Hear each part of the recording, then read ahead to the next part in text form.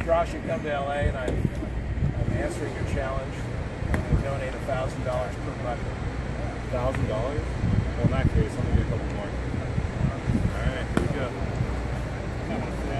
Yeah.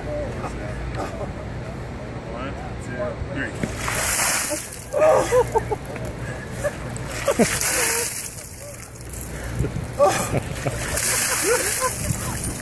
Sorry.